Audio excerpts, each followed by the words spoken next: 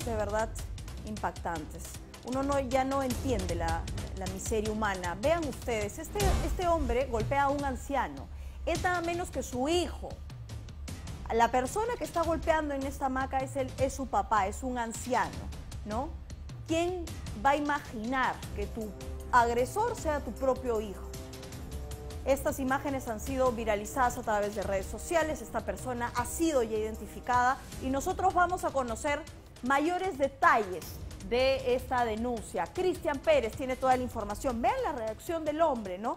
Sale con una piedra, golpea el auto a este hijo y lo que él, él hace es darle tremenda patada que lo deja tirado en la vereda, en los exteriores de esta vivienda. Terrible.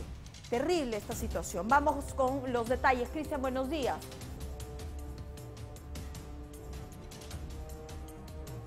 Estamos en vivo ya, Cristian, a ver si podemos contactarnos contigo para que nos des los detalles de, esta historia. ¿Quién es este, este agresor? Buenos días. Buenos días, Claudia. Buenos días, Pamela. Buenos días también para todos nuestros televidentes. Una noticia lamentable lo que vamos a presentar desde acá, desde la ciudad de Iquitos, ya que don Mario César da Costa Mansur, dueño de puertos da Costas y transportes fluviales, muy conocidos aquí en la ciudad de Iquitos, que es un propietario de naviero que por años dedicó su vida a este rubro y que vive actualmente una pesadilla con su mayor hijo, Samuel da Costa.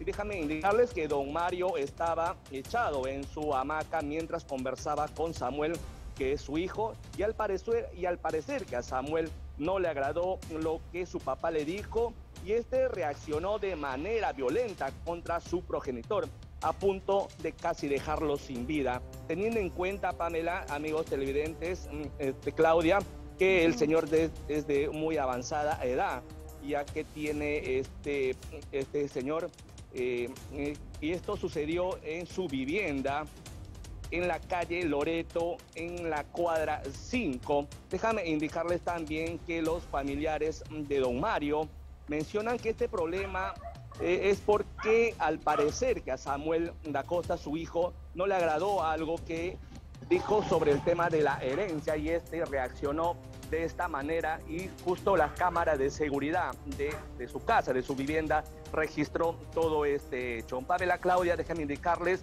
que a través de un documento de la Fiscalía, el fiscal Dani Domingo el Bardales, fiscal provincial del tercer despacho de investigación de la Fiscalía Provincial Corporativa, especializada en delitos de violencia contra la mujer y los integrantes del grupo familiar de Mainas de conformidad con el artículo 295 del Código Procesal Penal, solicitó el orden de impedimento de salida del país para Samuel Antonio da Costa Vergara, quien es hijo de este, de este señor que ha sido víctima de violencia. Se conoce que hasta esta hora de la mañana eh, Samuel, el hijo, se encuentra en la capital de la República, donde estaría a punto de partir afuera de nuestro país. Pero con esta orden de impedimento de la Fiscalía, al parecer va a ser ya capturado por la Policía Nacional, Pamela Claudia. Ojalá se emita antes de que este sujeto pueda salir del país para que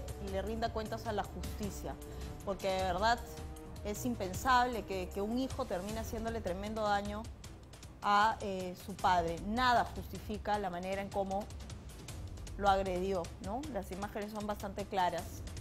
Gracias, Cristian, por la información de Iquitos. Vamos a continuar con más a las 5.